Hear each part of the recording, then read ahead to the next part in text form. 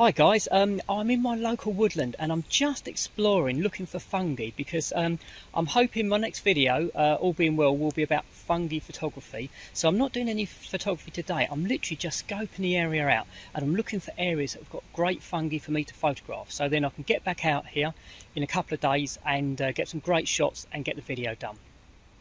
This will be absolutely ideal. I love the shape of the fungi here. I love the angle of this stump. So this is going to make a really good place to come back and uh, shoot some macro shots. I don't know what species of fungi this is, but I'm definitely putting this on my list. I think this is going to make a great subject. Thanks for watching this short video and uh, if you haven't already checked out my channel, if you can look at my longer content, that will be great. Thanks for watching guys and uh, hopefully speak to you soon.